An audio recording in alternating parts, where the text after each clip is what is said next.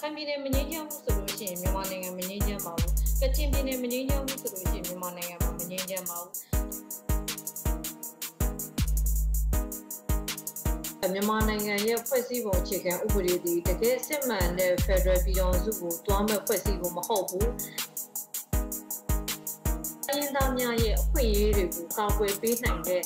လွတ်တော်တွေမဟုတ်သေးပါဘူး။ ကာကွယ်မပေးနိုင်တဲ့အပြင်အခုလက်ရှိမှာဖြစ်ပျက်နေတဲ့အခြေအနေကိုဆွေးနွေးခွင့်အောင်မပေးတဲ့လွတ်တော်မို့လို့ကျမကတော့အင်မတန်မှစိတ်ပြပါတယ်ရှင်။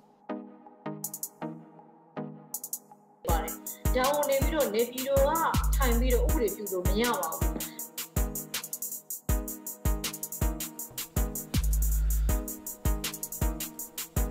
။အားလုံးတာလီစောပါအာရခမီဒီယာကိုကြည့်ရှုနားဆင်အားပေးနေကြတဲ့အာရခမီဒီယာပရိသတ်အားလုံး မင်္ဂလာပါခင်ဗျာကျွန်တော်တို့အာရခမီဒီယာမှာတွေ့ဆုံမင်းမြန်ခန်းအစီအစဉ်မှာဒီကနေ့ဖိုက်ခေါ်ထားတဲ့ပေါက်ကတော့ရခိုင်အမျိုးတူဖြစ်တဲ့အမျိုးသားလွတ်တော်အမဒေါ်ထုံမင်းနဲ့တွေ့ဆုံမင်းမြန်ခန်းအစီအစဉ်ပဲဖြစ်ပါတယ်ဒေါ်ဒေါ်ထုံမဲ့တာလီစောပါအာတာလီစောပါဟုတ်ကဲ့ အဲ့ဒါဆိုရင်ကျွန်တော်ဒီအာရခမီဒီယာကနေတဆင့်ဒေါ်ထုံမဲ့ရဲ့ကိုရေးအချင်းလေးနည်းနည်းလေးစတင်ပြီးတော့မိုက်ဆက်ပေးပါအောင်ခင်ဗျာအာကျွန်မမွေးရမြေကတော့ရခိုင်ပြည်နယ်ရမ်ဘီယာကဖြစ်ပါတယ်အဲရန်ကုန်အထက်က3ဗဟန်းကနေဆယ်ရန်အောင်ပါရရှင်အဲ philosophy major နဲ့အဝေးတင်ကဘွဲရပြီးတော့အာနိုင်ငံရေးလောကတွေကိုရောက်လာပါတယ်အဲဒီနိုင်ငံရေးလောကတွေကိုရောက်လာတဲ့အကြောင်းရင်းကတော့ အဲကျမတို့ဟိုဒီအဲចောင်းသားလူငယ်များရဲ့အခွင့်အရေးဆုံးချုံလာတဲ့တခုပါပါတယ်ရှင်အဲကျမတို့ဆယ်တန်းအောင်တော့နေပြီးတော့ဒီတက္ကသိုလ်တွေပိတ်ထားတယ်ဆိုတော့ចောင်းသားတွေကတက္ကသိုလ်မှာနေရမယ့်အချိန်ခါမှာနေပြီးတော့တက္ကသိုလ်မှာနေခွင့်မရှိခဲ့ဘူးအာဒီကစပြီးတော့ကျမနိုင်ငံရေးကိုစိတ်ဝင်စားလာတယ်အဲဆိုတော့အာ2000 6ခွန်လောက်မှာတော့နိုင်ငံရေးထဲမှာထက်ထက်ဝင်ဝင်ဆောင်ရွက်လာပြီးတော့အာဒီရခိုင်ဒီမိုကရေစီဖွဲ့ချုပ်ပါတီကို ဝင်နေအဲနောက်ပိုင်းပါတီရခိုင်ဒီမိုကရေစီဖွဲ့ချုပ်နဲ့နေပြီးတော့ဒီ RNDB ပူးပေါင်းတဲ့ခါမှာကြာလို့ရှိရင်တော့ရခိုင်မျိုးသားပါတီဖြစ်လာတယ်ဆိုတော့2015မှာရခိုင်မျိုးသားပါတီကမြို့သားလွှတ်တော်ကိုယ်စားလှယ်ဝင်ရောက်ရှင်ပြိုင်ပြီးတော့လက်ရှိမှာမြို့သားလွှတ်တော်ကိုယ်စားလှယ်ဖြစ်ပါတယ်ရှင်အာဟုတ်ကဲ့ပါအဲဆိုလို့ရှိရင်ကျွန်တော်ဆက်ပြီးတော့မိခွန်လည်းနေနေထောက်လိုက်မယ်ပေါ့နော်ဟုတ်ကဲ့ ဟုတ်ကဲ့ဒီဒေါ်ထုမေရဲ့နိုင်ငံရေးခံယူချက်ရည်ရွယ်ချက်နဲ့ဒီလွတ်တော်အမတ်တူအဖြစ်ဒီဝင်ရောက်ဝင်ရောက်ရွေးချယ်ခံရရှင်ရဲ့ရည်ရွယ်ချက်ကိုပြောပြလို့ရပါမလားခင်ဗျာနိုင်ငံရေးရဲ့ကျမနိုင်ငံရေးဘာကြောင့်လုပ်ရတယ်နိုင်ငံရေးခံယူချက်ကတော့ဘာလဲဆိုလို့ရှိရင်ဒီနိုင်ငံတနိုင်ငံမှာရှိကြတဲ့နိုင်ငံသူနိုင်ငံသားတွေဟာနေပြီးတော့သူတို့ရဲ့အခွင့်အရေးတွေကိုအပြည့်အဝရရှိဖို့ဖြစ်ပါတယ်။ သူတို့ဘဝတွေရှီမန်းထားတဲ့ဘဝတွေကိုအကောင့်ထဲပေါ်နိုင်တဲ့ပတ်ဝန်းကျင်ရှိဖို့လိုပါမယ်။အဲကျမတို့နေပြီးတော့ဒီနိုင်ငံရေးခံယူချက်ကတော့ဘာလဲဆိုလို့ရှိရင်ကျမတို့နိုင်ငံဒီကျမနေတဲ့ပတ်ဝန်းကျင်ဒီအဲလူသားကောင်းကျိုးကိုဆောင်ရွက်နေတဲ့ပတ်ဝန်းကျင်ဖြစ်ရမယ်။လူသားကောင်းကျိုးကိုဆောင်ရွက်ပေးနိုင်ဖို့အခွင့်အရေးရှိတဲ့အစိုးရအုပ်ချုပ်တဲ့နိုင်ငံအစိုးရအုပ်ချုပ်တဲ့စနစ်ဖြစ်ရမယ်ဆိုတော့နိုင်ငံရေးခံယူချက်ရဲ့အဓိကကတော့နေပြီးတော့ မြန်မာနိုင်ငံမှာရှိကြတဲ့တိုင်းရင်းသားပြည်သူများတွေကိုယ်ပိုင်ပြဋ္ဌာန်းပိုင်ခွင့်ရှိရမယ်ကျမတို့ကနေပြီးတော့ကိုကျမကိုဖန်တီးပိုင်ခွင့်ရှိရမယ်နိုင်ငံသူနိုင်ငံသားတယောက်ချင်းစီကမိမိရဲ့အနာဂတ်ကိုဖိုင်တီးပိုင်ခွင့်ရှိရမယ်အဲထိုနည်းတူစွာပဲနေပြီးတော့တိုင်းရင်းသားများရပိုင်ခွင့်တွေရှိရမယ်နိုင်ငံသားများဒီဂုံတိတ်ခါရှိစွာနဲ့အဲနိုင်ငံထဲမှာကမ္ဘာအလယ်မှာနေပြီးတော့ဝင်ကြွားနိုင်တဲ့လူပုဂ္ဂိုလ်တွေဖြစ်ရမယ် ဆိုတော့ကျမရဲ့နိုင်ငံရေးကတော့အရန်ရိုးရှင်းတယ်အဲကျမတို့လူသားဖြစ်တဲ့တကြောင်မလို့ကျမတို့မှာဒီလွတ်လပ်မှုရှိရမယ်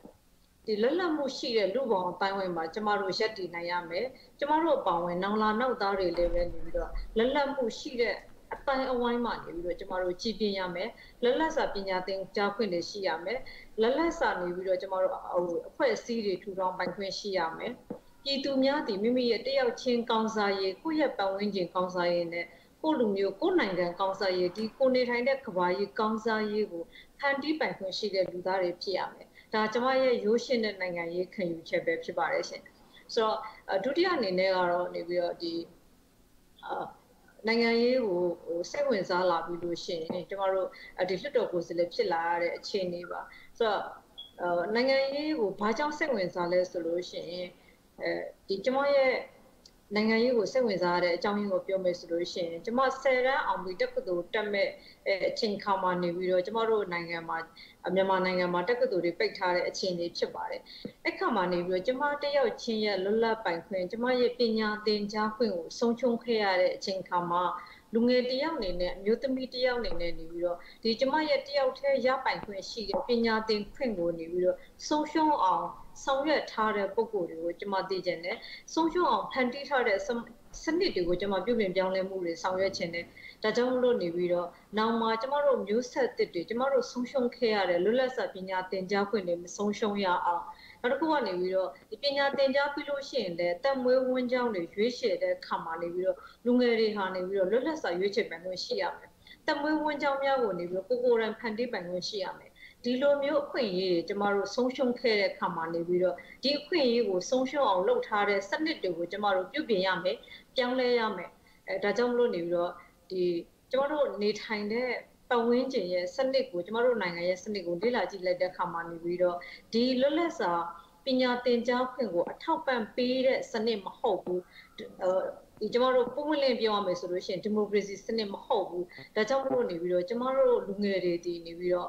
ဒီမိုကရေစီပြုပြင်ပြောင်းလဲရေးမှာအစဉ်သင့်ဖြစ်ဖို့အတွက်ဒီမိုကရေစီပြုပြင်ပြောင်းလဲရေးဆောင်ရွက်နိုင်ဖို့အတွက်နေပြီးတော့ကျမတို့တွေဒီဒီလမ်းကြောင်းကိုရွေးချယ်ရမယ်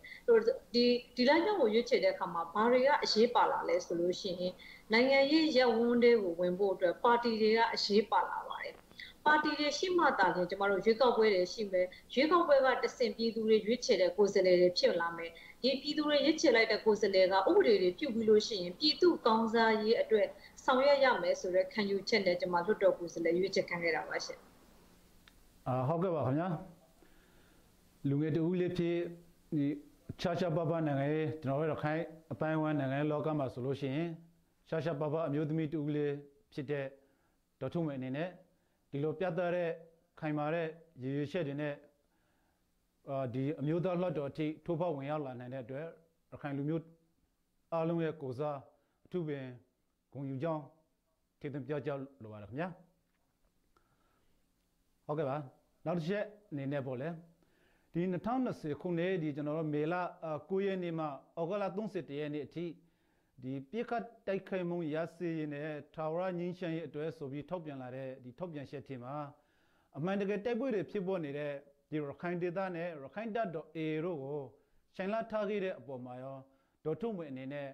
အာဘယ်လိုထင်မြင်ယူဆပါတယ်လဲခင်ဗျာဒီကျမတို့မြန်မာနိုင်ငံဟာနေပြီးတော့ဒီမြန်မာနိုင်ငံလွတ်လပ်ရေးရခဲ့တဲ့က1948နောက်ပိုင်းကတည်းကနေပြီးတော့ပြည်တွင်းစစ်တွေဆက်တိုက်ဖြစ်ပေါ်ခဲ့ပါတယ်။ ဆိုကျမတို့တစ်သက်လုံးကနေပြီးတော့ပြည်တွင်းစစ်နဲ့ပတ်သက်လို့အောင်မြင်တဲ့ငြိမ်းချမ်းရေးဆောင်ရွက်ချက်တွေကိုမတွေ့ရှိရသေးပါဘူး။ဆိုတော့ဒီအောင်မြင်တဲ့ငြိမ်းချမ်းရေးဆောင်ရွက်ချက်တွေဒီမတွေ့ရှိရတဲ့ကြောင့်မလို့အဲကျမတို့နိုင်ငံဟာနေပြီးတော့ကမ္ဘာလယ်မှာဒီညနေပန်းမလှပဲနဲ့နေပြီးတော့စင်ရင်မွေးတည်တဲ့နိုင်ငံတစ်ခုဖြစ်ကိုရောက်ရှိသွားပါတယ်ဆိုတော့ကျမတို့နိုင်ငံဒီနေပြီးတော့ဒီစစ်မှန်တဲ့စနစ်တစ်ခုနောက်တစ်ခုကနေကျမတို့နိုင်ငံနဲ့ လူမျိုးတွေအတွက်အံဝင်ခွင်ကြဖြစ်တဲ့စနစ်ကိုဒီနိုင်ငံရေးအာဏာလက်ဝယ်ထားရှိသူတွေကမဖန်တီးတဲ့ခါမှာနေပြီးတော့မြန်မာနိုင်ငံမှာလက်လက်ကင်တိုင်းရင်းသားလက်နက်ကင်နေပြီးတော့အာဒီအစုအဖွဲ့တွေပေါ်ပေါက်ခဲ့ပါတယ်ဆိုတော့ဒီပေါ်ပေါက်ရတဲ့အကြောင်းရင်းကလည်းပဲသူတို့ရဲ့နိုင်ငံရေးရပိုင်ခွင့်နဲ့ဆုံးရှုံးသွားလို့ဖြစ်ပါတယ်ဒါကြောင့်မလို့ကျွန်မအနေနဲ့နေပြီးတော့ဒီမြန်မာနိုင်ငံမှာလက်နက်ကင်ပဋိပက္ခအာရှိနေတာအထူးသဖြင့်တိုင်းရင်းသားတွေနဲ့အဲဒီကျမတို့ဒီ ပြည်တော်စုအစိုးရလို့ကျမတို့ပြောလို့ရပါတယ်သူတို့တွေနဲ့နေပြီးတော့ဒီလက်နက်ကင်ပဋိပက္ခရှိနေရတဲ့အကြောင်းရင်းဒီမြန်မာနိုင်ငံမှာနေပြီးတော့ဒီ Federal လို့ခေါ်တဲ့တိုင်းရင်းသားတွေမှာကိုယ်ပိုင်ပြဋ္ဌာန်းပိုင်ခွင့်ဆုံးရှုံးကြတဲ့အတွက်ကြောင့်မလို့ဒီလက်နက်ကံပဋိပက္ခပေါ်ပေါက်ရတဲ့အကြောင်းရင်းဖြစ်ပါတယ်ဒီအကြောင်းရင်းတွေကိုနေပြီးတော့ကျမတို့ဖြည့်ရှင်းမယ်ဆိုလို့ရှိရင်ဒီတိုင်းရင်းသားတွေကိုကိုယ်ပိုင်ပြဋ္ဌာန်းပိုင်ခွင့်ပေးမှသာလျှင်နေပြီးတော့ဒီပြဿနာကိုဖြည့်ရှင်းပေးနိုင်မှာဖြစ်ပါတယ် ဆိုတော့ဒီအစိုးရအနေနဲ့ရောမြန်မာတပ်မတော်အနေနဲ့ရောမြန်မာနိုင်ငံမှာငြိမ်းချမ်းရေးဖော်ဆောင်မယ်ဆိုလို့ရှိရင်ထောင်ရငြိမ်းချမ်းရေးဖော်ဆောင်မယ်ဆိုလို့ရှိရင်အားလုံးပါဝင်တဲ့လက်နက်ကင်အားလုံးပါဝင်တဲ့ငြိမ်းချမ်းရေးစကားဝိုင်းကိုစရမှာဖြစ်ပါတယ် ဆိုတော့မြန်မာနိုင်ငံမှာနေပြီးတော့ရခိုင်ပြည်နယ်မငြိမ်းချမ်းတာပဲဖြစ်ဖြစ်ဒါမြန်မာနိုင်ငံမငြိမ်းချမ်းတာပါပဲကချင်ပြည်နယ်မငြိမ်းချမ်းလို့ရှိရင်လည်းမြန်မာနိုင်ငံမငြိမ်းချမ်းတာပါပဲဒါကြောင့်မလို့နေပြီးတော့ဒီလက်နက်ကန်ပဋိပက္ခကိုဖြေရှင်းဖို့ငြိမ်းချမ်းရေးစကားဝိုင်းစပြီဆိုလို့ရှိရင်အားလုံးပါဝင်နိုင်စွမ်းရှိတဲ့အားလုံးပါဝင်ခွင့်ရတဲ့အခြေအနေတရက်ကိုအခင်းကျင်းတရက်ကိုမဖန်တီးဘူးဆိုလို့ရှိရင်ဒါထာဝရငြိမ်းချမ်းရေးလည်းမဟုတ်သလိုဒါစစ်မှန်တဲ့ငြိမ်းချမ်းရေးလည်းမဟုတ်ပါဘူး စစ်မှန်တဲ့ငြိမ်းချမ်းရေးကိုဖော်ဆောင်မယ်ဆိုလို့ရှိရင်လက်နက်ကံပဋိပက္ခဖြစ်တဲ့ဒေသတွေကခေါင်းဆောင်တွေနောက်အစုအဖွဲ့တွေနဲ့နေပြီးတော့အပြစ်ခတ်ရက်စဲရမယ်ပြီးလို့ရှိရင်ဒီပြီးကျမတို့ငင်းချမ်းရေးကိုတစ်ဆင့်ချင်းတစ်ဆင့်ချင်းသွားအောင်မှာဖြစ်ပါတယ်ဆိုတော့ရခိုင်ဒီလိုမျိုးအခြေအနေမှာနေပြီးတော့ရခိုင်ပြည်နယ်ကနေပြီးတော့လက်နက်ကင်တောက်ဖွဲ့တွေကိုခြံထားခြင်းဟာ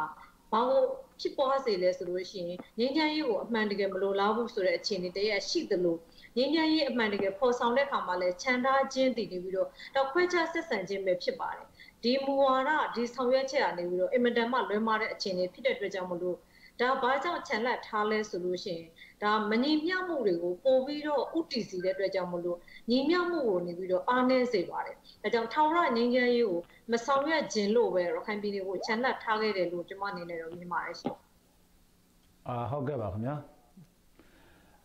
အဲ့ဆိုလို့ရှိရင်ပေါ့နော်နောက်တစ်ခုအနေနဲ့ကျွန်တော်ဒီ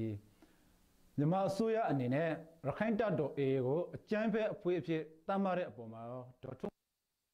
အနေနဲ့ဘယ်လိုများသုံးသပ်လိုပါတယ်ခင်ဗျာ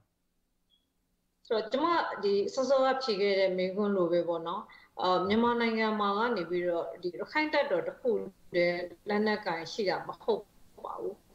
ဒီလွတ်လပ်ရေးရပြီးကြတဲ့ကအုပ်ချုပ်တဲ့စနစ်တွေမညီမျှတာကြောင့် အကျွန်တော်တို့ဒီတိုင်းရင်းသားလက်နက်ကင်တွေပေါ်ပေါက်ရခြင်းဖြစ်ပါတယ်ဒီတိုင်းရင်းသားလက်နက်ကင်ပေါ်ပေါက်ရတဲ့အခြေအနေအရရက်ကိုဟိုဇင်းမြစ်ကိုနေပြီးတော့တေချာဖြည့်ရှင်းဖို့မကြိုးပမ်းဘဲနဲ့ခေါင်းစဉ်အမျိုးမျိုးတက်တာတိုင်းရင်းသားတွေကြားထဲမှာပို့ပြီးတော့ငြိမ်းချမ်းရေးနဲ့ဝေးစေပါတယ်ရှင်ဒါကြောင့်မလို့နေပြီးတော့ကျမတို့ဒီတိုင်းရင်းသားတွေဘာကြောင့်လက်နက်ကင်ကြတာလဲ ဒီရဲ့အခြေအနေကိုအစိုးရအနေနဲ့သုံးသပ်ဖို့လိုပါမယ်နောက်တစ်ခုကနေပြီးတော့တိုင်းရင်းသားတွေကိုလေဒန်းတူအခွင့်အရေးပေးရမှာဖြစ်ပါတယ်ဆိုတော့ဒီလိုမျိုးဒန်းတူအခွင့်အရေးပေးဖို့ကြိုးပမ်းတဲ့ခါမှာလဲရိုးသားမှုဟာအင်မတန်အရေးကြီးပါတယ်ရှင်ဒါကြောင့်မလို့နေပြီးတော့မြမငင်းငင်းရေးကိုဆောင်ရွက်မယ်ဆိုလို့ရှိရင်ဘယ်တိုင်းရင်းသားလက်နက်ကင်တပ်ဖွဲ့ကိုမဆိုဒန်းလူညီမြ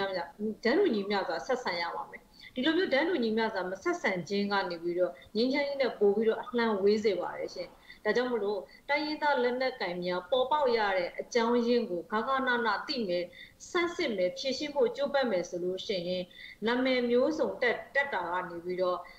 အလုံးမဖြစ်ဘူးဆိုတော့အစိုးရအနေနဲ့သိသွားမှာဖြစ်ပါတယ်ဒါကြောင့်မလို့နေပြီးတော့တိုင်းရင်းသားတွေကိုအတိမတ်ပြုရမယ်ဒန်းတူညီမျှမှုရှိတဲ့စနစ်တွေကိုပေါ်ဆောင်မှသာလင်းပြီးတော့ဒါမြန်မာနိုင်ငံကဒီမိုကရေစီအောင်မြင်မှာဖြစ်ပါတယ်ဆိုတိုင်းရင်းသားလက်နက်ကင် တွေကိုအာလက်နက်ကင်ကြတဲ့အတွက်ကြောင့်မလို့တကယ်တမ်းနိုင်ငံရေးအရာအဖြေရှာမဲ့အဖြေကိုကြားလို့ရှိရင်အဲကြိုးပမ်းဆောင်ရွက်ပြီးတော့အဖြေမရှာဘဲနဲ့နာမည်မျိုးစုံတက်ခြင်းဒီပြဿနာကိုပို့ပြီးတော့ကြီးထွားအောင်လုပ်တယ်လို့ပဲကျွန်မကတော့မြင်ပါတယ်ရှင်အာဟုတ်ကဲ့ပါခင်ဗျာကိုလိုပြည့်ပြည့်စုံဖြစ်စားပြီးတော့ကျေးဇူးတင်ပါတယ်နောက်ထပ်တစ်ချက်အနေနဲ့ပေါ့ကျွန်တော်တို့ဒီလက်ရှိအချိန်ကာလမှာဆိုလို့ရှိရင်ကျွန်တော်တို့ဒီရခိုင်ပြည်အတွင်းမှာ တိုက်ပွဲတွေအပြင်းထန်ဖြစ်ပေါ်နေတဲ့ကာလပေါ့လေကိုဗစ် -19 ကာယောဂါကလည်းတစ်ဖက်ဆိုတော့ဒီအဲ့လိုမျိုးဒီယောဂါဆိုကလည်းကြောက်နေတဲ့အချိန်မျိုးမှာအစိုးရအနေနဲ့ဒီ internet line တွေကိုအချိန်ကြာမြင့်စွာပိုက်ထားတာဒီသတင်းမီဒီယာတွေကိုပြည်တွင်းတွေကိုဝင်ပြီးတော့ကျွန်တော်ရခိုင်ပြည်အတွင်းတွေကိုဝင်ပြီးတော့လောလောဆိုသတင်းရယူခွင့်တွေပိုက်ပင်ထားခြင်းတွေဟာဒီရခိုင်ဒေသရဲ့ဒီကျန်းမာရေးနဲ့ဒီငင်းချမ်းစွာအာ တူနေရှင်တွေ့နေထိုင်ရတို့အတွက်ရေရှည်မှာဘလို့ဟောနိုင်ပါတယ်လေခင်ဗျာတစ်ချက်လောက်ထပ်ပြီးသုံးသပ်ပေးပါဦးဒီ internet ဖြတ်တောက်ထားမှုအပေါ်မှာကျမတို့လေးလာသုံးသပ်ရတဲ့လောက်တော့ဒီအစိုးရကနေပြီးတော့အမုန်းစကားပြန့်ပွားစေတယ်ဆိုတဲ့အခြေအနေနောက်တစ်ခုကဒီအများပြည်သူလုံခြုံရေးကိုအကြောင်းပြတဲ့အခြေအနေ ဒီအခြေအနေအပေါ်မှာနေပြီးတော့သူ internet ကိုဖြတ်တောက်တယ်လို့ကျမတို့လေးလာသိရှိရပါတယ်အမှန်တကယ်ဒီလိုမျိုးတွေးဆချက်ဒီလိုမျိုးထင်မြင်ချက်ဒီလိုမျိုးယူဆချက်ကမှားယွင်းပါတယ်နိုင်ငံတော်နိုင်ငံဒီမိုကရေစီစနစ်ကိုပြုပြင်ပြောင်းလဲဖို့လုပ်ပြီးပြုပြင်ပြောင်းလဲဖို့ဆောင်ရွက်ပြီးဆိုလို့ရှိရင်ပြည်သူများရဲ့အခြေခံရပိုင်ခွင့်ကိုအစိုးရကကြိုးပမ်းအားထုတ်ပေးရမှာဖြစ်ပါတယ်။အင်တာနက်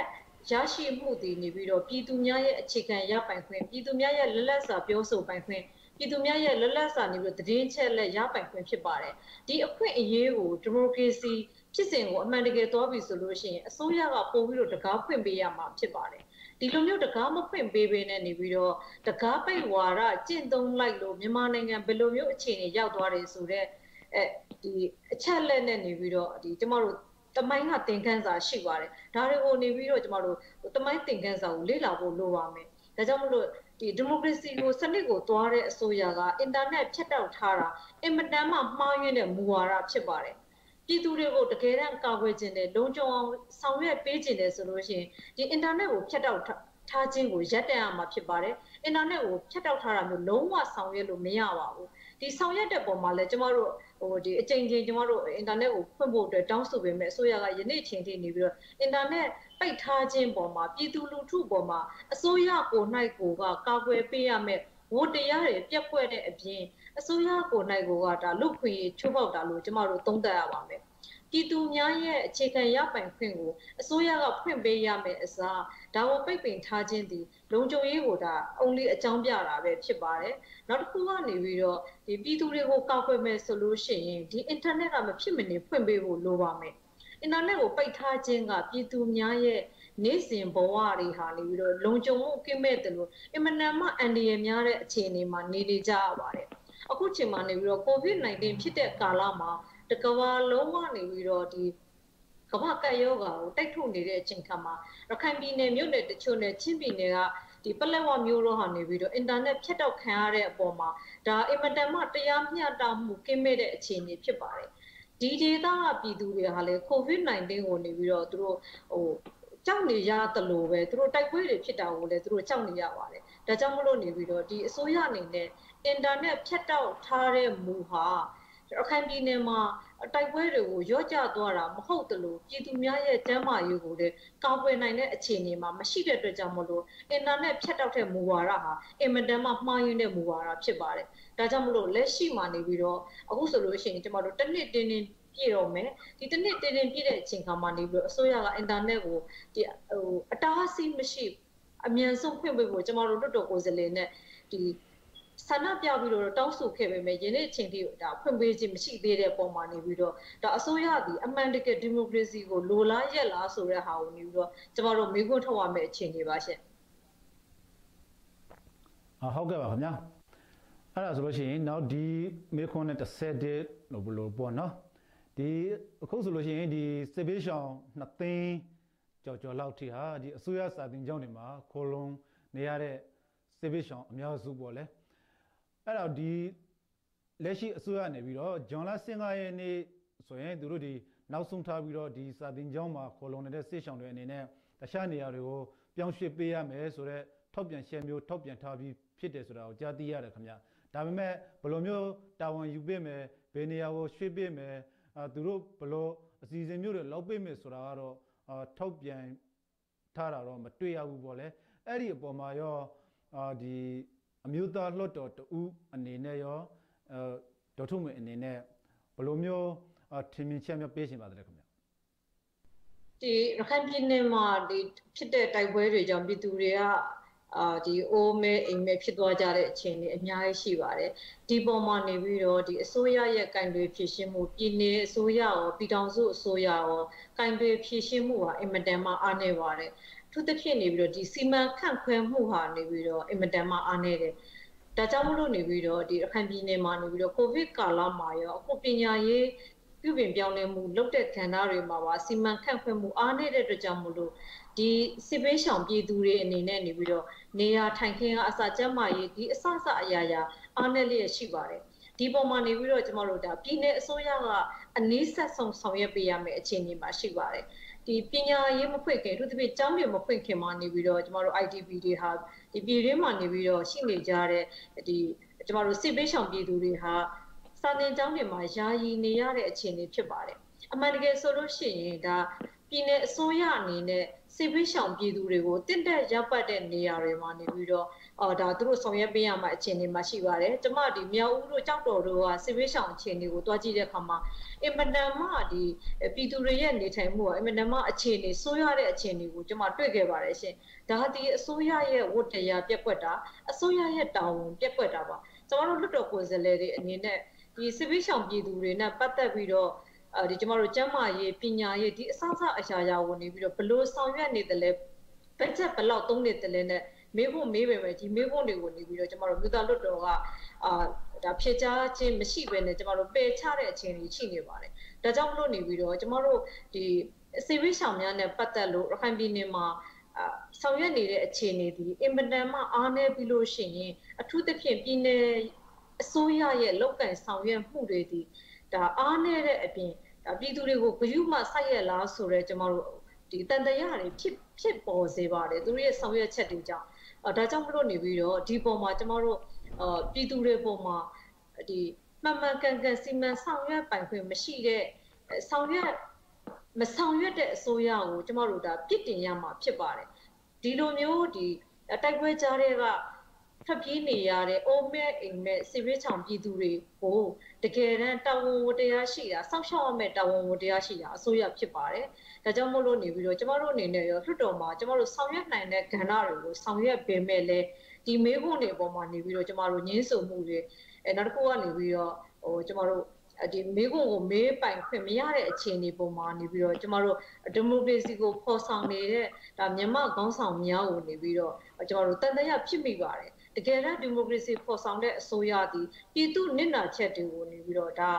ဖြစ်ဆက်ပေးရမယ်ပြည်သူတွေရဲ့အိုမဲအိမ်မဲရှိနေတဲ့အခြေအနေတွေကိုနေပြီးတော့အတိုင်းအတာတစ်ခုအထိပြည်သူတွေလုံခြုံရတဲ့နေရာမှာစိတ်ချရတဲ့နေရာမှာနေရာချထားပေးဖို့ကအစိုးရရဲ့တာဝန်ဖြစ်ပါတယ်ရှင်အာဟုတ်ကဲ့ပါခင်ဗျာကျွန်တော်နောက်တစ်ချက်အနေနဲ့လေပို့လေဒီရခိုင်စီဗီရှောင်းတွေနဲ့ပဲဆက်ဆက်ပြီးတော့ပေါ့ဒီလှော့တော်ဂိုင်ဒအနေနဲ့အထူးသဖြင့် လှော့တော်ထဲမှာဝင်ရောက်နေတဲ့ရခိုင်လှော့တော်အမတွေရောတခြားတိုင်းရင်းသောလှော့တော်အမတွေရောအနေနဲ့ဒီလက်ရှိရခိုင်ပြည်အတွင်းမှာ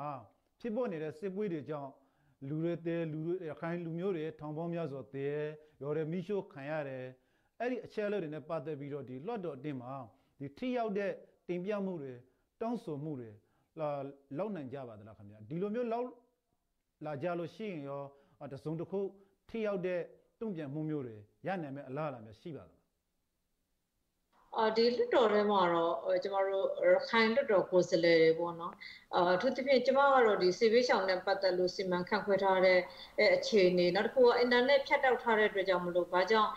နေပြီးတော့ဒီပြည်သူတွေပေါ်မှာအင်တာနက်ဖြတ်တောက်ထားတာလေအင်တာနက်ဖြတ်တောက်ထားတဲ့စိုးငွေတွေကိုပြည်သူတွေခံစားရတဲ့ပုံမှာအစိုးရအနေနဲ့ဘာတွေဖြစ်စည်းမှုတွေရှိသလဲဆိုတော့အမေဘုံနှစ်ခုစလုံးကိုတော့မြို့သားလွတ်တော်ဥပဒေကပယ်ချခဲ့ပါတယ်ရှင်။ဒါကြောင့်မလို့ဟိုကျမတို့ဒီပြည်သူတွေအတွက်အထူးသဖြင့်နေပြီးတော့ဒီအဲ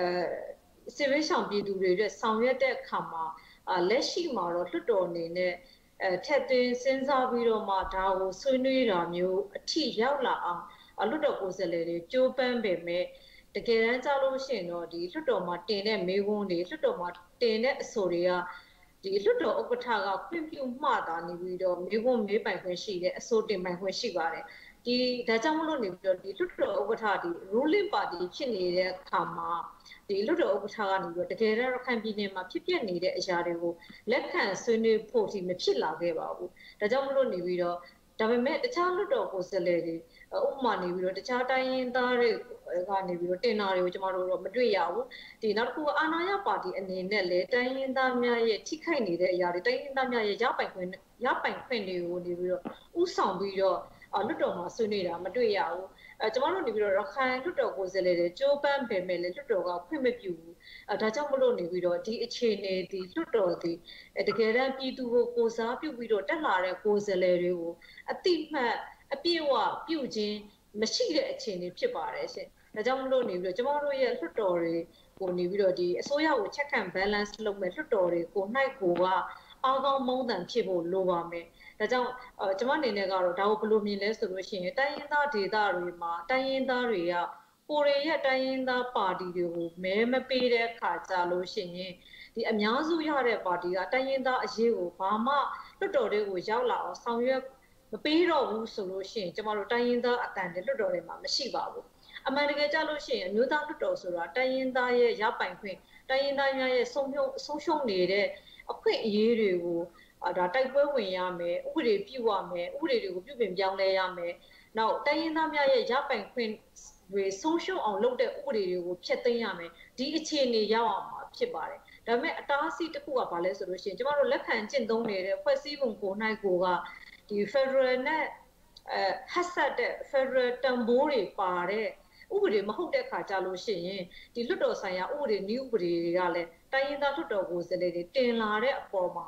ဒါလွတ်တော်ဥက္ကဋ္ဌကခွင့်ပြုမှသာနေပြီးတော့တင်ရတဲ့အခြေအနေဥပဒေတွေရှိတဲ့အတွက်ကြောင့်မလို့ဒီဥပဒေတွေကိုလည်းကျမတို့ဒီအများစုကပြင်မှသာလျင်ဒါဒီဥပဒေတွေအသက်ဝင်မှာဒီဥပဒေတွေနေပြီးတော့ပြုပြင်ပြောင်းလဲမှုရမှာဖြစ်ပါတယ်ဒါကြောင့်မလို့အာဟိုကျွန်မအနေနဲ့ကတော့ ဒီလွှတ်တော်ကိုဘယ်လိုမြင်လဲဆိုလို့ရှိရင်တိုင်းရင်းသားများရဲ့အခွင့်အရေးတွေကိုကာကွယ်ပေးနိုင်တဲ့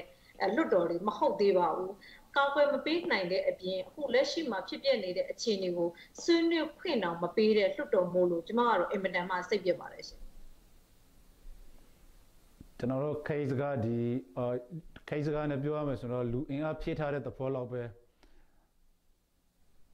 ဖြစ်နိုင်တော့ဘူးလေအဲ့လိုမျိုးတော့မယူဆဘူးရှင်အဲဘာကြောင့်လဲဆိုလို့ရှိရင်ဒါပကတိအခြေအနေကနေပြီးတော့မြန်မာနိုင်ငံမှာဟိုတိုင်းရင်းသားများတည်နေပြီးတော့လူနည်းစုတွေဖြစ်ပါတယ်မြန်မာနိုင်ငံရဲ့ဒီမိုကရေစီကိုရှင်သန်အောင်ဆောင်ရွက်မယ်ဆိုလို့ရှိရင်ဒီဒီမိုကရေစီတစ်ခုတည်းနဲ့မရပါဘူး။ဘာတွေလိုအပ်လဲဆိုလို့ရှိရင်ကျမတို့ညှိနှိုင်းဆောင်ရွက်အပြေရှာနိုင်တဲ့အခြေအနေ negotiation scale တွေနေပြီးတော့ကျမတို့လိုအပ်ပါတယ်။ဒါကြောင့်မလို့နေပြီးတော့ ဒီဒီမိုကရေစီမှာနေပြီးတော့အများအဖြစ်နေပြီးတော့ဒီအများမဲပေးလိုက်တဲ့လွှတ်တော်ကိုယ်စားလှယ်တွေအများဆန္ဒကဥပဒေဖြစ်တယ်ဆိုပေမဲ့လည်းမြန်မာနိုင်ငံလိုတိုင်းရင်းသားရှိတဲ့နေပြီးတော့ဒေသတွေမှာအခြေအနေမှာကြောက်လို့ရှိရင်တော့ပြုပြင်ပြောင်းလဲမှုတွေဆောင်ရွက်တဲ့အခါမှာညှိနှိုင်းမှုလည်းလိုတယ်ဆိုတဲ့အကြောင်းကိုကျွန်မပြောချင်တာပါရှင်ဟုတ်ကဲ့ပါခင်ဗျာအဲ့ဆိုလို့ရှိရင်နောက်တစ်ချက်အနေနဲ့ပို့လေဒီအာလက်ရှိအခြေအနေ ပုံစံမျိုးပေါ့ဒီ2008ဖွဲ့စည်းပုံအောက်ကနေလောက်ဆောင်နေရတဲ့ဒီပါတီနိုင်ငံရေးရဲ့လောက်ဆောင်ချက်တွေဟာရခိုင်ပြည်သူတွေအတွက်ရောအကျိုးအများဖြစ်ထွန်းမှုရှိတယ်လို့ယူဆပါသလားခင်ဗျာ။သုံးသပ်ပြပါအာကျမတို့ကတော့ဒီလွတ်တော်ကိုယ်စားလှယ်စပြီးတော့ရွေးချယ်ကြတဲ့ကနေပြီးတော့ရောနောက်တစ်ခုကနေပြီးတော့ပါတီတွေအနေနဲ့ရော အဲမြန်မာနိုင်ငံရဲ့ဖွဲ့စည်းပုံအခြေခံဥပဒေဒီတကယ်စစ်မှန်တဲ့ Federal ပြည်ထောင်စုကိုတွားမဲ့ဖွဲ့စည်းပုံမဟုတ်ဘူးဒါပေမဲ့လက်ရှိမှာတော့ဒီကျမတို့ဒီဥပဒေပေါင်းအတွင်းကနေပြီးတော့ပါတီတွေထောင်ကြရတယ်နိုင်ငံရေးပါတီတွေကမှတ်ပုံတွေတင်ကြရတယ်အဲ့လိုမျိုးအခြေအနေမှာတော့ဒီလက်ရှိဥပဒေကိုတော့ကျမတို့ဟိုလိုက်နာပါမယ်လေးစားပါမယ်ဆိုတဲ့အခြေအနေမှာရှိပါတယ်အဲဒါပေမဲ့ဒီဥပဒေကိုမပြုတ်ပြင်ဘူးမပြောင်းလဲဘူးဆိုတော့ အဲဂတိကိုဝတ်တွေတော့မရှိပါဘူးဥပဒေတရက်တည်နေပြီးတော့ဒီလောကလောကတရားနဲ့နေပြီးတော့ဆန့်ကျင်လို့မရပါဘူးတဘာဝတရားနဲ့ဆန့်ကျင်လို့မရပါဘူးခုမြန်မာနိုင်ငံရဲ့ဖွဲ့စည်းပုံအခြေခံဥပဒေကကြာလို့ရှိရင်တော့ပြုပြင်ပြောင်းလဲဖို့အများကြီးလိုအပ်တဲ့အခြေအနေကနေပြီးတော့အများကြီးလိုအပ်တဲ့အခြေအနေမှာရှိနေပါတယ်။ဒါကိုလည်းပဲနေပြီးတော့ဒီမြန်မာနိုင်ငံမှာရှိကြတဲ့ပါတီတွေရောနေပြီးတော့ဒီ25ရာခိုင်နှုန်းပါဝင်နေတဲ့မြန်မာတပ်မတော်ရော ဒီဖွဲ့စည်းပုံကိုပြုပြင်ပြောင်းလဲရမယ်ဆိုတာလက်ခံပါတယ်။ဒါပေမဲ့တကယ်တမ်းပြုပြင်ပြောင်းလဲဖို့လွတ်တော်မှာပြင်ဆင်တဲ့ခါကြလို့ရှိရင်တော့ဒါအငင်းပွားဖွယ်ရအများကြီးရှိပါတယ်။အဲကျမတို့အနေနဲ့ကတော့ဒီ2008ဖွဲ့စည်းပုံကိုပြုပြင်လို့မရဘူးပြောင်းလဲလို့မရဘူးဆိုလို့ရှိရင်အမှန်တကယ် leading party ကဥပဒေအစ်တရရဲစစ်ဖို့ကျမတို့လိုပါမယ်ဖွဲ့စည်းပုံကိုလက်ရှိ2008ဖွဲ့စည်းပုံကိုနေပြီးတော့ဟိုလက်ခံပြီးတော့လွတ်တော်ကိုယ်စားလှယ်တွေဖြစ်လာကြတယ်ဒါပေမဲ့အစ်ဒီအာ ဖွဲ့စည်းပုံအစ်တစ်ခုမရေးဆဲပါဘူးတော့ဘယ်သူမှဂတိကိုအဲဆောင်ရွက်ထားတာမရှိဘူးရှင်ဒါကြောင့်မလို့လက်ရှိမှာနေပြီးတော့ကျမတို့ကြိုးပမ်းကြည့်ကြတယ်ဖွဲ့စည်းပုံပြင်ဆင်ဖို့ကြိုးပမ်းကြည့်ပေမဲ့နေပြီးတော့အချိန်တွေကကုန်သွားတယ်တကယ်တမ်းတိုင်းရင်းသားတွေရဲ့အခွင့်အရေးကိုတောင်းဆိုပိုင်ခွင့်ရှိတဲ့ကိုယ်ပိုင်ပြဋ္ဌာန်းပိုင်ခွင့်တို့ကိုကျမကိုဖန်တီးခွင့်တို့ဒန်းလူညီမျှခွင့်တို့ဟိုဒါတွေနေပြီးတော့ကျမတို့မရရှိခဲ့ပါဘူးဒါပေမဲ့မရရှိတဲ့အတွက်ကြောင့်မလို့ကျမတို့ကဟိုတိုင်းရင်းသားတွေကအိမ်ဖြစ်သဘောမျိုးလာလာပြောတယ် အဲပြောတာလည်းနေပြီးတော့မဟုတ်သေးပါဘူးရှင်ကျမတို့နေပြီးတော့ဒီအာမြန်မာနိုင်ငံနေနေပြီးတော့မတူညီတဲ့တိုင်းရင်းသားတွေနေကြနေတဲ့နိုင်ငံဖြစ်တဲ့အတွက်ကြောင့်မလို့ကျမတို့လွှတ်တော်တွေရဲ့စနစ်တွေကိုအာကျမတို့ပြုပြင်ပြောင်းလဲဖို့လိုပါမယ်အမျိုးသားလွှတ်တော်ဆိုလို့ရှိရင်ဒီတိုင်းရင်းသားတွေနဲ့ပတ်သက်တဲ့ဘဲဥပဒေကိုတော့အာဘဲဥပဒေကိုတော့ညီပြီးတော့ရေးစစ်ပိုင်ခွင့်ရှိတယ်ဘဲဥပဒေတော့ပွေဖြစ်ရမယ်ဆိုတော့တကယ် Federal စံတွေ Federal တန်ဖိုးတွေမပါလို့သာတိုင်းရင်းသားများရဲ့အတန်ဟာလွတ်တော်မှာနေပြီးတော့ကျေတင်းတက်လောက်မကျေပဲနဲ့ဒီအများအနိုင်ရတဲ့အဲပါတီရဲ့သဘောထားကတာလွှမ်းမိုးတဲ့အခြေအနေမှာရှိနေပါတယ်တကယ်သာနေပြီးတော့ဖွဲ့စည်းပုံဒီစစ်မှန်တဲ့ Federal နဲ့ Federal တန်ဖိုးတွေနောက်တစ်ခုကဒီအမျိုးသားလွှတ်တော်ဆိုလို့ရှိရင်အမျိုးသားလွှတ်တော်နဲ့ကိုက်ညီတဲ့စံတန်ဖိုးတွေမြို့သားလွှတ်တော်မှာဆောင်ရွက်ရမယ့်ဥပဒေတွေအမှန်တကယ်ပါလာပြီဆိုလို့ရှိရင်တော့ ဒီတိုင်းရင်းသားလူနည်းစုတိုင်းရင်းသားများရဲ့အခွင့်အရေးကိုကာကွယ်နိုင်တဲ့ဥပဒေတွေပေါ်ပေါက်လာမှာဖြစ်ပါတယ်။လက်ရှိမှာနေပြီးတော့ဒီ2008ဖွဲ့စည်းပုံနဲ့မြန်မာနိုင်ငံရဲ့ Federal ကိုသွားလို့မရသေးပေမဲ့ကျမတို့ရဲ့ခုချိန်မှာတော့ဒီပြည်သူများရဲ့နစ်နာချက်ကိုအတိုင်းအတာတစ်ခုလောက်တာနေပြီးတော့ကျမတို့ဆောင်ရွက်ရတဲ့အခြေအနေမှာတော့ရှိနေပါတယ်ရှင်။အာဟုတ်ကဲ့ပါခင်ဗျာ။အဲ့ဒါဆိုလို့ရှိရင်ကျွန်တော်ဒီနေ့ဒီဒီလာမဲ့ရေကောက်ပွဲအခြေအနေပေါ့လေ ကျွန်တော်တို့အရင်2015လောက်ထိကဒီဒေါ်ထုမိုရဲ့ဒေါ်ထုမေရောအနေနဲ့ဆိုရင်လည်းဒီရေကောက်ပွဲအနိုင်ရတဲ့အခြေအနေမျိုးမှာလာကြတယ်ပေါ့နော်အဲ့ဒီအခြေအနေမျိုးကလာတဲ့အခါကျတော့ဒီဒီမိုကရေစီဖော်ဆောင်တဲ့ဒီစံချင်းစံညွန့်တဲ့အရာအနိုင်ရတဲ့နေမြေဒေသတွေမှာအနိုင်ရတဲ့ဒီပါတီတွေကနေပြီးတော့အာဖော်ဆောင်ခွင့်မရတဲ့အခြေအနေမျိုးတွေရှိတာပေါ့နော်အဲ့လိုအခြေအနေတွေနဲ့လာကြတော့ဒီအခုလာမဲ့2020ရွေးကောက်ပွဲ အပေါ်မှာရောအရင်ကအခြေအနေနဲ့အခု2020ရွေးကောက်ပွဲအပေါ်မှာဒေါ်ထုမေအနေနဲ့ဘယ်လိုများအာထင်မြင်သုံးသပ်ချင်ပါတယ်ခင်ဗျာအမှန်တကယ်ကမြန်မာနိုင်ငံရေးကပြုပြင်ပြောင်းလဲမှုအမှန်တကယ်လုပ်ရမှာဖြစ်ပါတယ်ရှင်ဒါပေမဲ့တကယ်ဒီပြုပြင်ပြောင်းလဲမှုကိုလက်တွေ့ကြကြမဆောင်ရွက်တဲ့အခါမှာနိုင်ငံရေးသမားတွေပြည်သူတွေအဲနောက်တစ်ခုလွတ်တော်ကိုယ်စားလှယ်တွေအဲဒီဒီပုံကိုယ်တွေကနေပြီးတော့ ဒီစိတ်ပြတ်ကြတဲ့အခြေအနေမှာရှိပါတယ်အမှန်တကယ်ကကျမကကြာလို့ရှိရင်ဘယ်ရာကိုမစိုးနေပြီးတော့အကောင့်မြင်ဝါဒထားရှိတဲ့အခြေအနေမှာအာရှိပါတယ်ရှင်ဘယ်ရာကိုမစိုးအကောင့်မြင်ဝါဒထားရှိပါတယ်ဒါပေမဲ့လက်ရှိအဲကျွန်တော်ဖွဲ့စည်းပုံကိုပြင်ခဲ့တဲ့အခြေအနေမှာဘသူကတော့ဒီအပေါ်စီးကရလို့နေပြီးတော့အပြုပြင်ပြောင်းလဲမှုမလုပ်ချင်ဘူးဆိုတဲ့ဟာကိုကျမတို့သိတာပါတယ် အဲဒါကြောင့်မလို့နေပြီးတော့ကျမတို့ဒီတိုင်းရင်းသားတွေကဟို2020မှာရွေးချယ်ကြမယ်တိုင်းရင်းသားတွေကကိုယ့်ရဲ့တိုင်းရင်းသားတွေကိုမေးပေးသင့်ပါတယ်တိုင်းရင်းသားတွေပို့ပြီးတော့အားကောင်းမောင်းတန်ဖြစ်အောင်ဒီကျမတို့လူနည်းစုတွေအားကောင်းမောင်းတန်ဖြစ်အောင်ခိုင်မာအောင်ကျမတို့ဆောင်ရွက်ရမယ့်အခြေအနေမှာရှိနေပါတယ်ဆိုတော့2020ကတော့ဟိုဒီ single ချက်တွေများစွာရှိနေမယ်ဒါပေမဲ့ဖွဲ့စည်းပုံပြင်ဆင်ရေးနဲ့ပတ်သက်လို့ကတော့2020မှာလဲ တမတော်ကပြုပြင်ပြောင်းလဲအမှန်တကယ်ပြုပြင်ပြောင်းလဲမှုမဆောင်ရွက်ဘူးဆိုလို့ရှိရင်ဒီအခုလက်ရှိအာဏာရပါတီအနေနဲ့ဘလောက်ပဲဖွဲ့စည်းပုံပြင်ဆင်ဖို့စ조사စ조사ဘလောက်ပဲတောင်ပြိုကမ်းပြိုနိုင်နိုင်ပြုပြင်ပြောင်းလဲမှုကိုမလုပ်နိုင်ပါဘူးရှင်ဖွဲ့စည်းပုံကိုပြုပြင်ပြောင်းလဲနိုင်တဲ့အဲပုံကိုယ်တွေကနေပြီးတော့ဒီဒါမြန်မာတက်မတော်ပဲဖြစ်ပါတယ်ဆိုမြန်မာတက်မတော်ရဲ့သဘောထားဆန္ဒ အနေပြီးတော့မပြောင်းလဲပဲနဲ့ဒါဘာလို့ဟိုပြုပြင်ပြောင်းလဲရမလဲဆိုလို့ရှိရင်ဒီလွှတ်တော်ထဲမှာပါဝင်နေတဲ့25ရာခိုင်နှုန်းကိုဟိုလက်လျှော့အောင်မှာဖြစ်ပါတယ်အမှန်တကယ်နေပြီးတော့ဒီ Federal ကိုသွားမယ်စစ်မှန်တဲ့ Federal ကိုသွားမယ်တိုင်းရင်းသားတွေကိုလည်းတကယ်စာနာတယ်တိုင်းရင်းသားတွေရဲ့ရပ်ပိုင်ခွင့်တွေကိုလည်းတကယ်အတိအမှတ်ပြုတယ်အဲဒီလူတွေဟာနေပြီးတော့ငါတို့တွေနဲ့ဒန်းတူပါလားဆိုတော့အဲနေပြီးတော့ဒီအသိစိတ်ဓာတ်နဲ့နေပြီးတော့လွှတ်တော်ထဲမှာရှိတဲ့25ရာခိုင်နှုန်းကို ရုပ်သိမ်းရမှာဖြစ်ပါတယ်ရှင်တကယ်ကမ္ဘာမှာရှိတဲ့ဒီမိုကရေစီဘယ်နိုင်ငံမှာမှလွှတ်တော်ထဲမှာနေပြီးတော့ဒီ25ရာခိုင်နှုန်းကရွေးကောက်တင်မြှောက်ခြင်းမရှိဘဲနဲ့ရောက်လာတယ်ဆိုတာမရှိပါဘူးဒါကြောင့်မလို့နေပြီးတော့ဒီမြန်မာဒီမိုကရေစီပြုပြင်ပြောင်းလဲရေးမှာတက်မတော်ရဲ့အခန့်ကဏ္ဍဟာအင်မတန်မှကြီးမားတဲ့အခြေအနေမှာရှိပါတယ် ဆိုတော့ဒီတက်မတော်ခေါင်းဆောင်တွေကပြုပြင်ပြောင်းလဲမှုကိုဆောင်ရွက်မှသာနေနေပြီးတော့မြန်မာနိုင်ငံရဲ့ဖွဲ့စည်းပုံကိုပြင်ဆင်လို့ရမှာဖြစ်ပါတယ်။ဘာကြောင့်လဲဆိုလို့ရှိရင်ဖွဲ့စည်းပုံမှာ2008ဖွဲ့စည်းပုံမှာအာပြဒန်းထားတဲ့နေပြီးတော့85ရာခိုင်နှုန်းကျော်မှသာနေပြီးတော့ဒီပုံမှန်တွေကိုပြုပြင်ပြောင်းလဲရမယ်။ပုံမှန်တွေကိုနေပြီးတော့ပယ်ဖြတ်နိုင်မယ်အတိရေးစစ်နိုင်မယ်ဆိုတဲ့အခြေအနေမှာရှိနေပါတယ်။ဒါကြောင့်မလို့နေပြီးတော့ကျွန်မကတော့ဒီနိုင်ငံရေးသမားတယောက်အနေနဲ့ခံယူထားတဲ့အတွက်ကြောင့်မလို့ နိုင်ငံရေးကိုနေပြီးတော့နိုင်ငံရေးနီးလန့်နဲ့ပဲအပြေရှားစေချင်ပါတယ်ကျမတို့နေပြီးတော့ဒီတိုင်းရင်းသားများရဲ့ရပိုင်ခွင့်တွေကိုဆောင်ရွက်မယ်ဆိုလို့ရှိရင်ဖွဲ့စည်းပုံကိုမဖြစ်မနေပြင်ဆင်ရပါမယ်ပြည်သူတွေရွေးချယ်တင်မြှောက်ထားတဲ့ကိုယ်စားလှယ်တွေနဲ့ပဲလွှတ်တော်မှာဥပဒေပြုတဲ့အခြေအနေမြန်မာနိုင်ငံမှာရရှိမှသာလျှင်အမှန်တကယ်ဒီမိုကရေစီစနစ်ကိုရမှာပါဒါကြောင့်မလို့နေပြီးတော့ဒီမမြန်မာနိုင်ငံဒီမိုကရေစီစနစ်ကိုတောင်းမယ်ဆိုလို့ရှိရင်ဒီမိုကရေစီစနစ်နဲ့ဆက်ကျင်တဲ့အရာတွေကို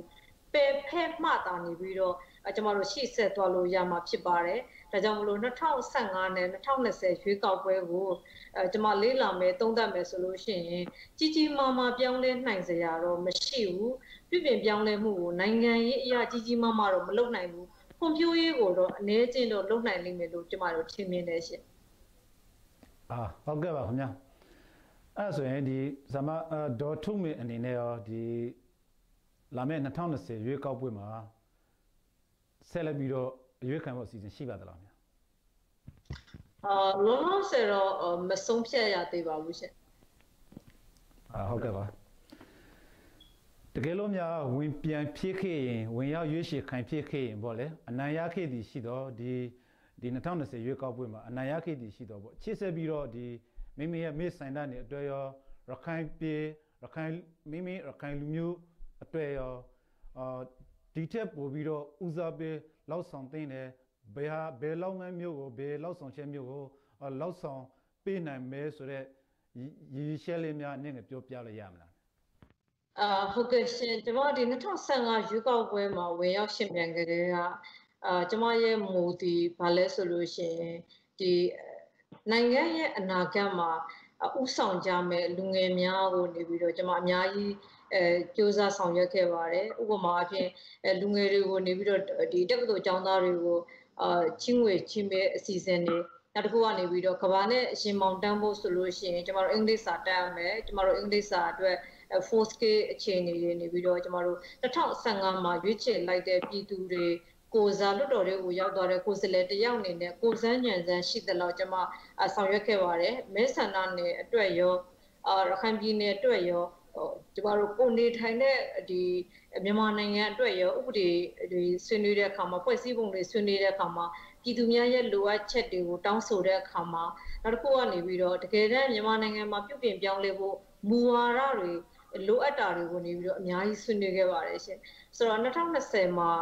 အာရွေးချယ်ခဲ့လို့ရှိရင်လည်းအဲဒါပြည်သူတွေအတွက်ပဲဖြစ်မှာပါအထူးသဖြင့်နေပြီးတော့ပိုရွေးချယ်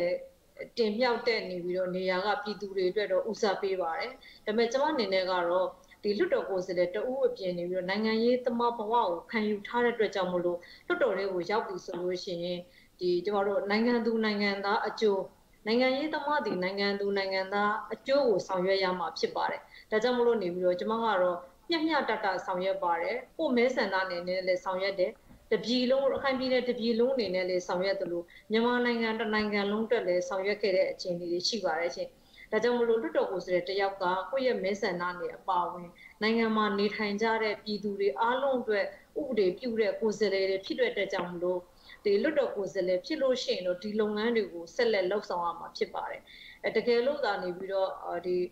လွတ်တော်ကိုယ်စားလှယ်မဟုတ်ဘူးဆိုလို့ရှိရင်လည်းကျမတို့နိုင်ငံရေးသမားတွေဒီနိုင်ငံရဲ့အရေးပြည်သူများရဲ့အရေးကိုတော့အာကျမတို့တေတမန်တက်တဆုံဆောင်ရွက်ရတဲ့အခြေအနေမှာရှိပါတယ်ရှင်။အဟုတ်ကဲ့ပါခင်ဗျာ။ဒီကိုလူမျိုးတွေအတွက်ရောနိုင်ငံအတွက်ရောတကယ်ရောအားထားအောက်ကိုပြုတ်စရာအတက်စရာပြည်ကြချက်တွေပါခင်ဗျာ။ဟုတ်ကဲ့။နောက်ထပ်ဆက်ပြီးတော့ပေါ့နော်ကျွန်တော်တို့ဒီအများစုကျွန်တော်တို့လူမျိုးဒီပြောရရင်ဒီလက်ရှိ တိုင်းသားလူမျိုးတွေအများစုခံယူထားတဲ့ဒီဒီမိုကရေစီအတူရောင်ပြည်ထောင်စုစနစ်ပေါ့လေဒီ2008ဖွဲ့စည်းပုံအောက်ကနေစစ်တပ်နဲ့နေပြည်တော်ကနေပြီးတော့ direct ထင်းလျှောက်ခံရတဲ့ဒီလက်အောက်ခံရခိုင်ပြည်နဲ့တခြားဗမာမဟုတ်တဲ့တိုင်းရင်းသားတွေရဲ့အကျိုးစီးပွားနဲ့ဒီတိုင်းတူရရှိရေးတွေကိုရောတို့ဘယ်လိုပုံဖော်တော့ကြရမယ်ဆိုတော့ရေရှဲလေးများပြောပြပေးလို့ရမလားခင်ဗျ အော်ဟုတ်ကဲ့ရှင်ဒီမြန်မာနိုင်ငံရဲ့ဒီလိုအပ်ချက်ကဘာလဲဆိုလို့ရှိရင်ဟိုအုပ်ချုပ်တဲ့စနစ်ပြုပြင်ပြောင်းလဲရေးပါရှင်ဒီအုပ်ချုပ်ရေးစနစ်တစ်ခုပြုပြင်ပြောင်းလဲပြီဆိုလို့ရှိရင်အဓိကအခြေခံအကျဆုံးကအခြေခံဥပဒေဖြစ်ပါတယ်ပြည်သူတွေကိုနေပြီးတော့ဒီပြုပြင်ပြောင်းလဲမှုကိုဆောင်ရွက်တဲ့အခါမှာနေပြီးတော့ပြည်သူတွေကိုကာကွယ်ပေးတဲ့ပြည်သူတွေကြီးပွားတိုးတက်အောင်ဆောင်ရွက်တဲ့ဥပဒေပဲဖြစ်ရပါမယ် ဒါကနေပြီးတော့လူနည်းစုဖြစ်လို့လူများစုဖြစ်လို့ဆိုတဲ့အပေါ်မှာပြတ်ထားထားခြင်းဒီဒါဥပဒေမမီပါဘူးဥပဒေမီမယ်ဆိုလို့ရှိရင်တော့အဲကျမတို့ပြည်သူကောင်စားရေးဒန်းတူညီမျှရေး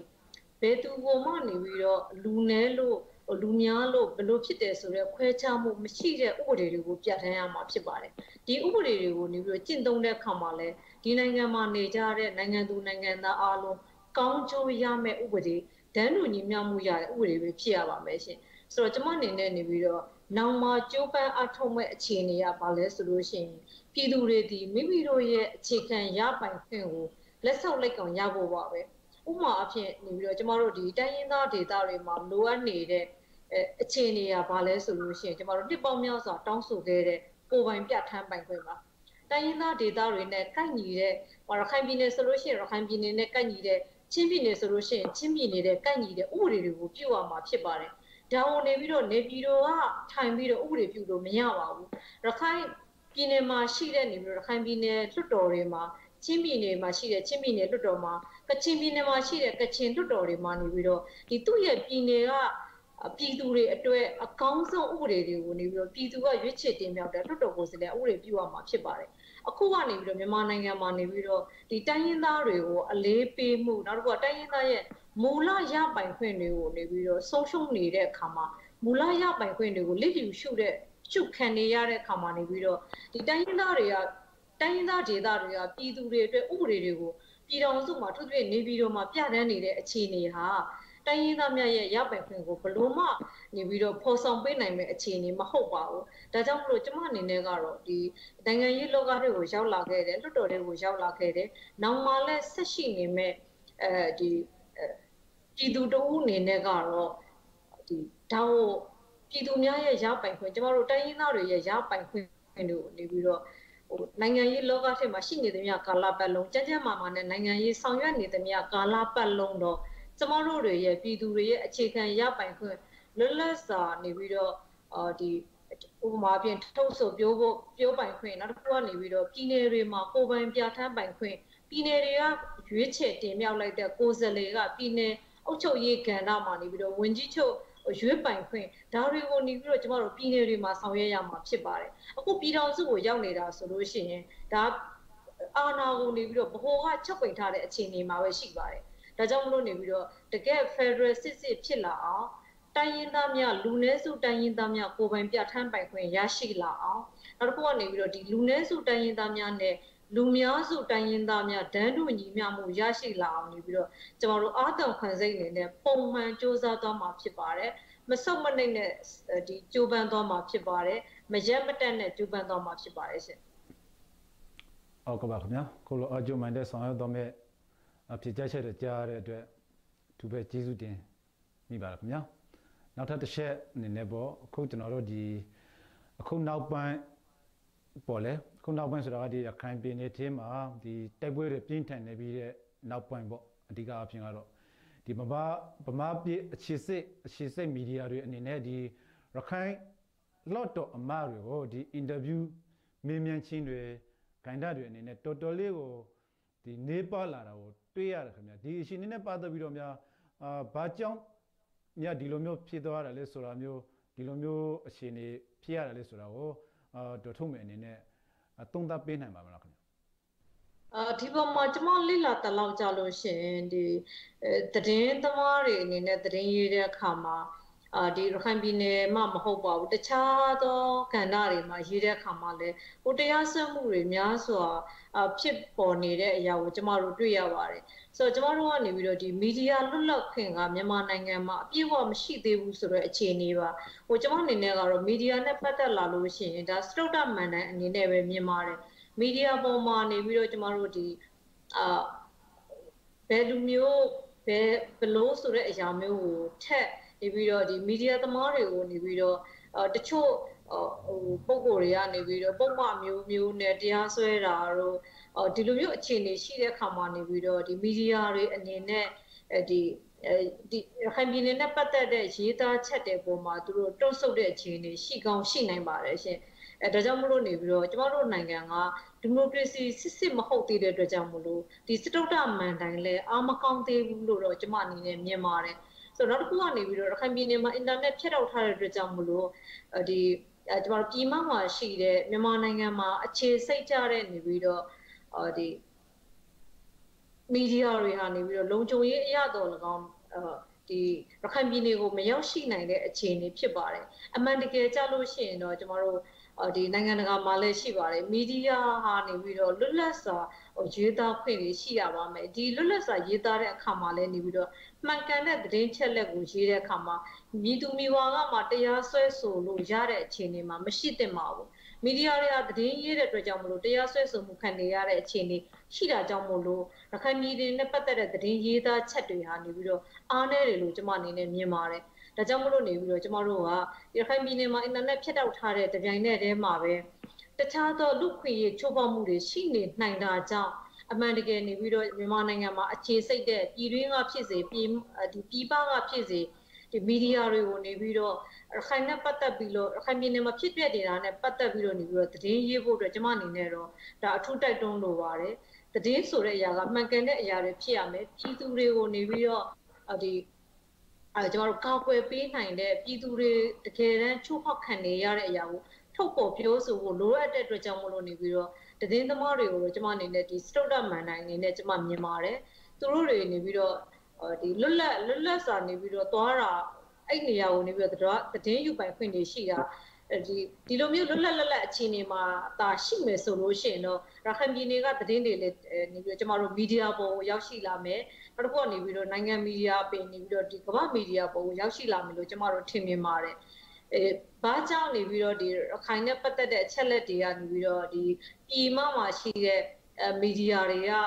အားနည်းတယ်လဲဆိုလို့ရှိရင်ကျမကတော့မြန်မာနိုင်ငံရဲ့ဒီမိုကရေစီအားနည်းလို့လို့တော့ကျမမြင်နေရှင့်အာဟုတ်ကဲ့ပါခင်ဗျာအဲဆိုလို့ရှိရင်ပေါ့နော်ကျွန်တော်တို့ဒီလက်ရှိစစ်ပွဲ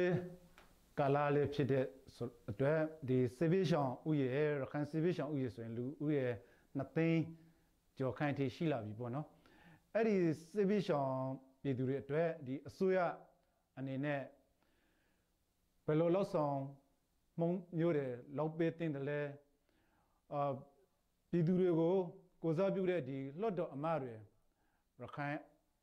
မဟုတ်တဲ့ရခိုင်နဲ့ရခိုင်မဟုတ်တဲ့တခြားလွတ်တော်အမတွေအားလုံးအနေနဲ့ဒီစစ်ဆောင်ပြည်သူတွေတိုက်ပွဲတွေဖြစ်ပေါ်နေတဲ့ရခိုင်ပြည်ထက်ကစစ်ဆောင်ပြည်သူတွေအတွက်ဘယ်လိုကောက်ွယ်မှုမျိုးတွေပေးတင်တယ်ဆိုတာမျိုးနဲ့ပတ်သက်ပြီးတော့ဒီ ရခိုင်စိတ်ဆောင်ပြည်သူတွေအတွက်ဒီအားပေးတဲ့အင်အားပေးတဲ့စကားလေးတွေအနေနဲ့ပြောချပေးပါအောင်ဒီကျွန်တော်တို့ဒီမိုကရေစီမှာပေါ့နော်မန်တိုင်း3ရက်ရှိပါပဲဒီမန်တိုင်း3ရက်မှာနေပြီးတော့လွှတ်တော်ကိုယ်စားလှယ်များအခန့်ကဏ္ဍသည်အပြည်သူကိုကိုစားပြုဖို့ဥပဒေပြုဖို့နောက်တစ်ခုအစိုးရကိုထင်ကြုံဖို့အခြေအနေမှာရှိပါတယ်ဒါတည်နေပြီးတော့ဒီလွှတ်တော်ကိုယ်စားလှယ်များရဲ့လုပ်ပိုင်ခွင့်ဖြစ်ပါတယ်အစိုးရရဲ့လုပ်ရမယ့်တာဝန်ဝတ္တရားတွေလည်းရှိပါတယ် ဒါတွေကဘာလဲဆိုလို့ရှိရင်အခုလိုမျိုးတိုက်ပွဲကာလမှာဒီအိုးပြည့်အင်ပြည့်ထွက်ပြေးနေကြတဲ့ပြည်သူတွေကိုကျမတို့ budget တစုံတရာနေပြီးတော့ဟိုစနစ်တကျသတ်မှတ်ပြီးလို့ရှိရင်ပြည်သူတွေရဲ့အထူးသဖြင့်နေပြီးတော့ဒီအသက်တက်ပိုင်းဆိုင်ရာလုံခြုံမှုသူတို့ရဲ့အသက်တွေလုံခြုံဖို့အတွက်အစိုးရကကောက်ွယ်ပေးရမယ်တာဝန်ဝတ္တရားရှိပါမယ်အစိုးရကနေပြီးတော့ကောက်ွယ်ပေးအောင်လဲလွတ်တော်ကိုယ်စားလှယ်တွေကနေပြီးတော့တိုက်တွန်းပြောဆိုရမယ်အခြေအနေပါ တိုက်တွန်းပြောဆိုရမှာဖြစ်ပါတယ်ကျွန်မအနေနဲ့ကတော့ဒီကျွန်မပြောဆိုနိုင်တဲ့အခြေအနေအားလုံးကကျွန်မဆောင်ရွက်ပါတယ်ဒါကျွန်မတို့ဆောင်ရွက်နိုင်တဲ့အခြေအနေပါနောက်တစ်ခုကနေပြီးတော့ဒီအထူးသဖြင့်ပြည်내အစိုးရသည်ဒီစစ်ပေးဆောင်ပြည်သူများနေထိုင်ရေးအတွက်အဲဒါနေပြီးတော့ကျမတို့ဒီ camp တွေစောက်ပေးရမယ်သူတို့နဲ့ပတ်သက်တဲ့အစားအသောက်တွေကိုနေပြီးတော့ဒီသူတို့တွေအတွက်အစားအသောက်တွေကိုလုံလောက်အောင်စီမံခန့်ခွဲပေးရမယ် အခုလိုမျိုးကိုဗစ်ကာလမှာလည်းဝင်ပြီးတော့ကျန်းမာရေးစောင့်ရှောက်မှုကိုအပြည့်အဝပေးနိုင်တဲ့အခြေအနေဖြစ်ရမယ်ဆိုတော့ဒီပြည်သူရွေးချယ်တင်မြှောက်ထားတဲ့လွတ်တော်ကိုယ်စားလှယ်များအနေနဲ့လည်းအစိုးရကိုထိန်းချုပ်ဖို့အတွက်နေပြီးတော့ဒါလွတ်တော်မှာတွေမှာပြောဆိုရမှာဖြစ်ပါတယ်လွတ်တော်တွေကပြောဆိုကြတဲ့စကားတွေပြောဆိုကြတဲ့ပြုတဲ့ဥပဒေတွေကိုလည်းပဲပြည်သူတွေကိုလေးစားလိုက်နာတော့အပြင်အစိုးရကအကောင့်ထဲပေါ်ရမှာဖြစ်ပါတယ်။ဒါကြောင့်မလို့လက်ရှိအခြေအနေမှာတော့အခိုင်ပြည်နယ်မှာ ဒီစေဘေးဆောင်ပြည်သူတွေနောက်တစ်ခုကဒီချင်းပြည်နယ်မှာနေပြီးတော့ရှိကြတဲ့စေဘေးဆောင်ပြည်သူတွေတစ်ခါနေပြီးတော့တခြားသောတိုင်းပြည်နယ်မှာရှိကြတဲ့စေဘေးဆောင်ပြည်သူတွေကိုအစိုးရကဒါနိုင်ငံတော်ဘတ်ဂျက်နဲ့ဒါကိုနေပြီးတော့သူတို့ဖြစ်ဆွေးပေးရမယ့်အခြေအနေဖြစ်ပါတယ်။ဒီကဖြစ်မယ်ဆိုလို့ရှိရင်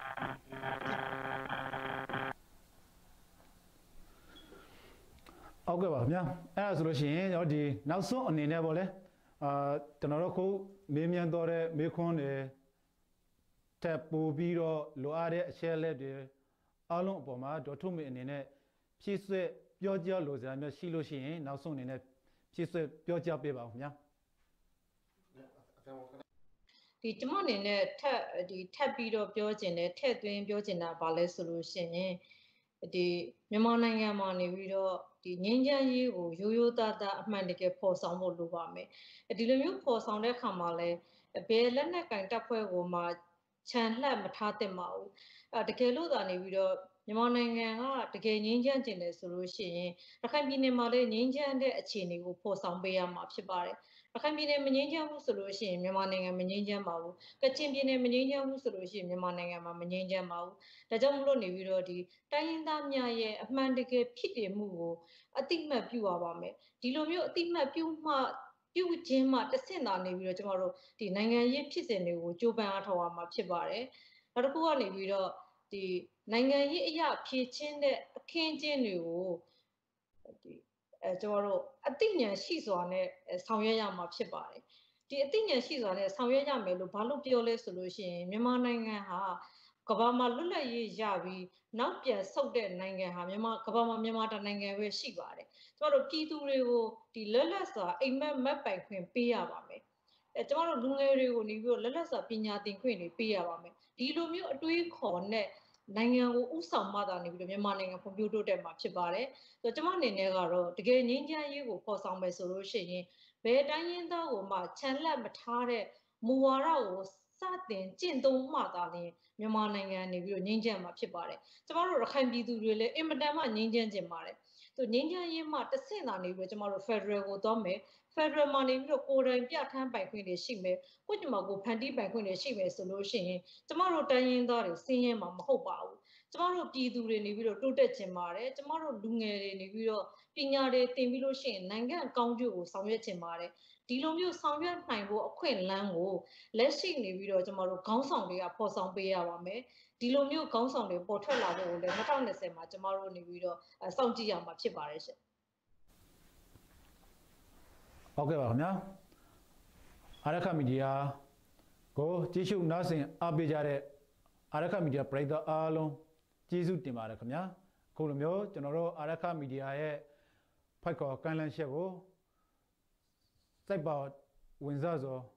ပြန်လေတုံ့ပြန်ဖြေချပေးတဲ့ရခိုင်အမျိုးသမီးအမျိုးသားလွှတ်တော်အမတ်ဖြစ်တဲ့ဒေါ်ထုံမေကိုလည်းကျွန်တော်တို့အာရခမီဒီယာကိုစားအထူးပင် ကျေးဇူးတင်ကြောင်းပြောကြားလိုပါတယ်ခင်ဗျာအားလုံးကိုကျေးဇူးတင်ပါတယ်